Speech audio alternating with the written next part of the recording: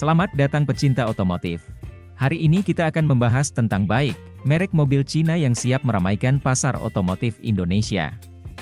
Baik, yang lahir pada tahun 1958, pertama kali memperkenalkan SUV off-roader mereka pada tahun 1966 dengan model Baik BJ212, yang memiliki desain yang menggabungkan elemen dari Toyota Land Cruiser seri 40 dan Land Rover seri 2.